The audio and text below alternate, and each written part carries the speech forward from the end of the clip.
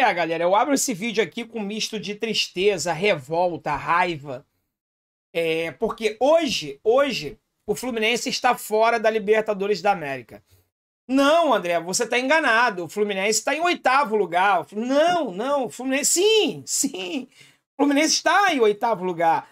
Mas o futebol apresentado pelo Fluminense, a mentalidade das pessoas que hoje estão no Fluminense, não colocará o nosso clube na Libertadores da América. A nossa oitava colocação é temporária. Em breve nós sairemos da primeira parte da tabela do Brasileirão e se nada mudar, se uma alteração, se uma, uma mudança não foi feita de forma drástica, nem que seja no comportamento, na mentalidade dos, atletas, da comissão técnica, da diretoria tricolor, a nau vai afundar. O barco vai afundar. E o impensável até pouco tempo atrás pode se tornar realidade, que é o quê? O Fluminense ficar fora da Libertadores e disputar a Sul-Americana. Não, galera, eu não penso em rebaixamento. Pode ser que daqui a duas, três semanas eu possa vir a pensar. Isso é um fato, tá? Porque do jeito que esse time tá, tudo é possível. Eu espero absolutamente tudo desse time do Fluminense. Mas hoje, hoje, eu não penso em rebaixamento. Faltam nove jogos e o Fluminense precisa de seis pontos para não ser rebaixado. Então, pelo amor de Jesus Cristo, né? Apesar que um time que não joga, que não ganha é, com jogador a mais durante 76 minutos, tudo é possível, né? Mas sim, eu não penso no Fluminense sendo rebaixado esse ano, tá? Penso sim no Fluminense fora da Libertadores da América. Para isso não acontecer, uma mudança drástica tem que acontecer no Fluminense Futebol Clube. Nem que seja na mentalidade. André, mudar só a postura vai resolver todos os nossos problemas? Talvez não, mas eu acho que resolve uma boa parte deles. Galera, o que mudou do Fla-Flu para o jogo contra o Santos e o jogo contra o Ceará foi a postura do time dentro de campo. Do Fla-Flu para o jogo contra o Ceará, ainda faltou o John Kennedy, né? Que no Fla-Flu meteu dois gols e contra o Ceará não estava em campo. Mas no jogo contra o Santos, o John Kennedy jogou. Só que a diferença do jogo do, do contra o a nosso arquirrival lá pro jogo contra o Santos foi a postura do time dentro de campo. O Fluminense no jogo na Vila Belmiro foi um time sonolento, um time lento, não foi um time aguerrido, um time cirúrgico, como foi no clássico carioca. Se pelo menos isso mudar, pelo menos isso mudar daqui para frente, a gente não corre nenhum tipo de risco nesse Campeonato Brasileiro.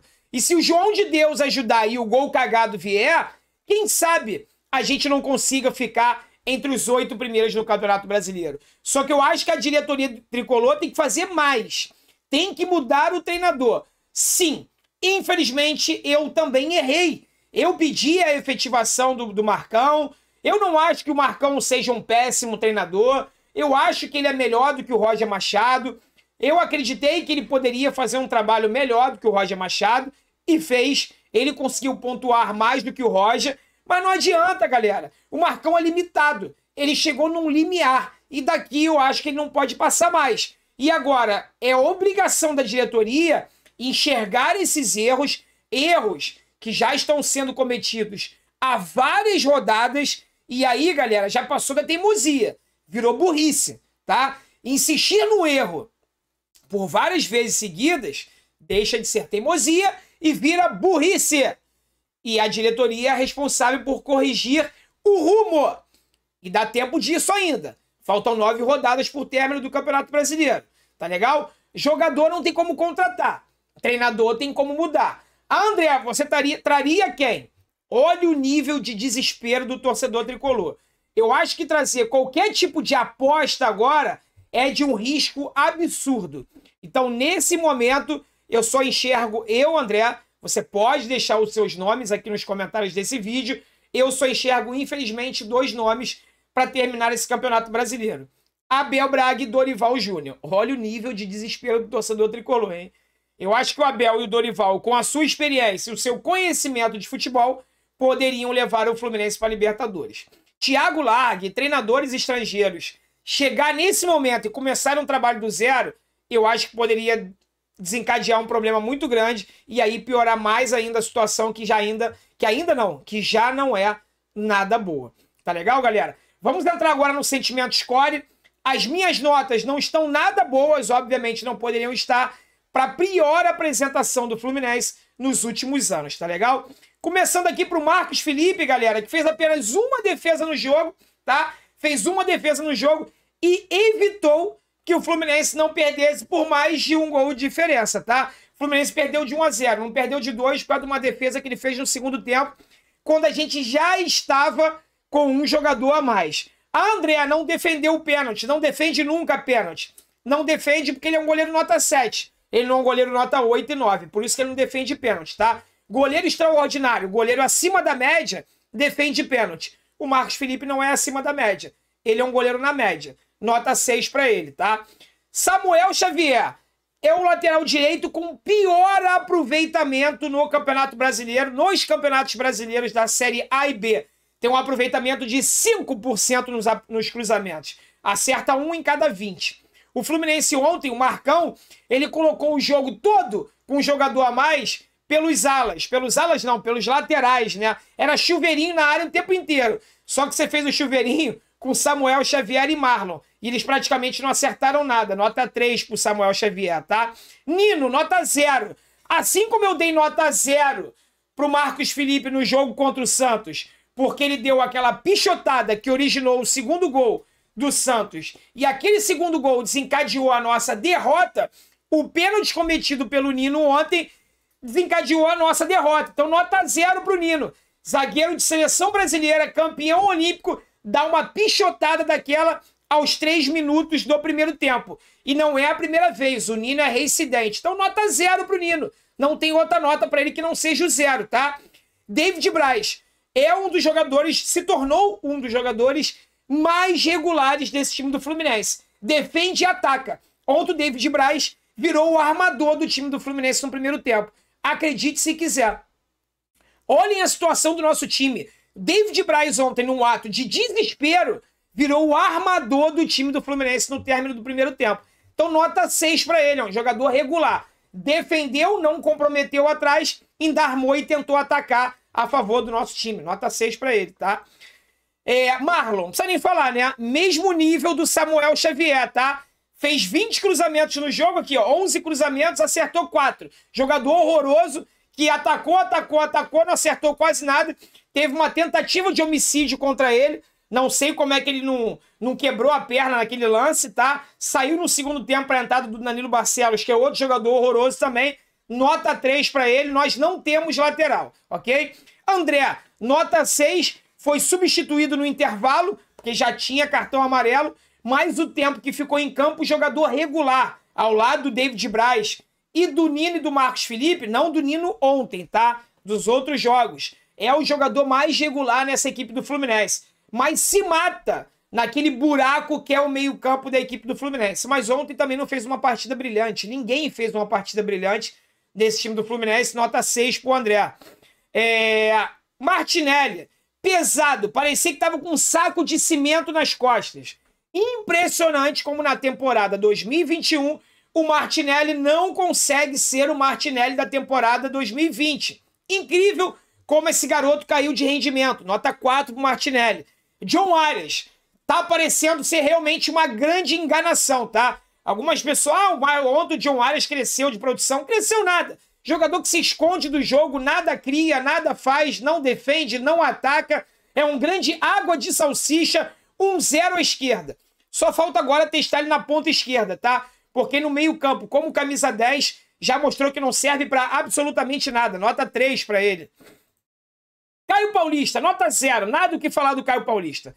Uma grande, um grande retrato do que é o Caio Paulista no jogo foi um contra-ataque puxado pelo Luiz Henrique, que passou para o John Arias. O John Arias tinha duas opções. O próprio Luiz Henrique abriu pela direita e o Caio Paulista aberto pela esquerda. Ele resolveu dar para o Caio Paulista, que deu um tapa na frente saiu pela linha de fundo com a, com a bola e deu com os cornos na bandeirinha de escanteio numa cena patética, ridícula, que eu senti vergonha alheia por ele. Nota zero pro Caio Paulista. Luiz Henrique, nota 3. Infelizmente, não consegue repetir as atuações. Ninguém nesse time do Fluminense joga absolutamente nada. Ele é mais marcador do que ponta, defende mais do que ataca, nota 3. Mais uma partida apagada do Luiz Henrique, tá? Abel Hernandes, nota 0. Como vou falar do Abel Hernandes? Nada faz, não produz, não ataca, ainda atrapalhou o Fred. Nota 0 pro Fred também, que também entra, mas não tem culpa, né? Que foi atrapalhado, ficou batendo cabeça com o Abel lá. Teve uma chance de marcar o gol do Fluminense, uma cabeçada livre sozinho na pequena área, num cruzamento, Danilo Barcelos cabeceou para fora. Fred entrou muito nervoso no jogo, muito tenso, deixou o time pilhado, mas também, né? Talvez seja o único ao lado do Marcão que realmente torça, seja torcedor do Fluminense. E tava vendo aquele caos que tava dentro de campo. O Fred entrou pilhado. Então, batendo cabeça ali com o Abel Hernandes dentro da área. Depois o Bobadilha também entrou. Ficou todo mundo batendo cabeça. Uma zona aquele time do Fluminense. Nota zero para todo mundo, pro Fred, pro Abel. Nota zero pro Marcão que errou desde o início, errou na lista dos relacionados, colocando cinco zagueiros, três centroavantes, nenhum atacante de ponta, nota zero para o Marcão, chegou no limiar dele, não consegue produzir mais do que isso. E galera, é o seguinte: hora de mudança. Ou a gente muda, repito, nem que seja na postura dentro de campo, ou o bicho vai pegar, ou a gente vai sofrer até o final do ano, hein? Ainda dá tempo. Marcão, Mário Bittencourt, Paulo Angione, os responsáveis pelo futebol do Fluminense. A torcida tricolor não aguenta mais. A cobrança vai vir no mesmo nível das atuações do time em campo, tá? A cobrança vai vir pesada. Se o time tá jogando mal, a cobrança também vai vir ruim, a cobrança vai vir pesada. Então, não esperem a... você, Marcão, na entrevista coletiva, não, porque a torcida, a gente pede para a torcida ir sábado contra o esporte apoiar, abraçar a nossa equipe. A torcida vai sábado sim, pelo menos eu vou, tá? Mas eu não vou abraçar e apoiar ninguém, não. Eu vou cobrar, eu vou gritar Nense, mas eu vou cobrar a atitude e postura. Não esperem que a torcida, pelo menos tô falando por mim, tá? Eu não respondo pela torcida, não. Eu vou gritar Nense, não vou cantar nome de jogador, não vou cantar música de incentivo a ninguém. Eu vou cantar música de incentivo ao Fluminense e a cobrança vai vir pesada a cada erro que o time cometer em campo. Porque o nível de tolerância a erro dessa equipe acabou. É zero. Tá legal, galera? Deixa aqui nos comentários a opinião de vocês, porque é muito importante para mim saber o que vocês pensam sobre isso. Tá legal?